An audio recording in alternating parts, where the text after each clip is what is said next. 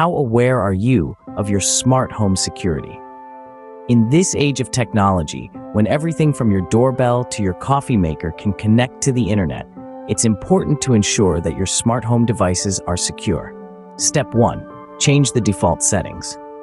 Many smart devices come with default usernames and passwords that are easy for hackers to guess. To keep your devices secure, make sure to change these settings as soon as you install the device. Step 2. Keep your devices updated. Manufacturers often release updates for their devices that include security patches. Make sure to install these updates as soon as they become available. Step 3. Use a strong, unique password for each device. This can help prevent hackers from gaining access to all of your devices if they crack one password. Step 4. Enable two-factor authentication if available.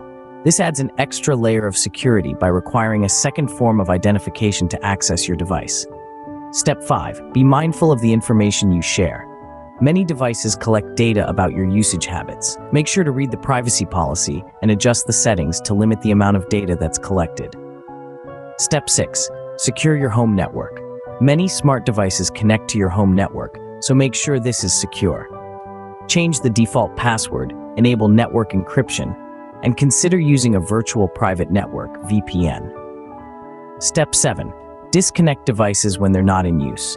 This can help to reduce the risk of them being hacked. In summary, securing your smart home devices involves changing default settings, keeping devices updated, using strong, unique passwords, enabling two-factor authentication, being mindful of the information you share, securing your home network, and disconnecting devices when they're not in use.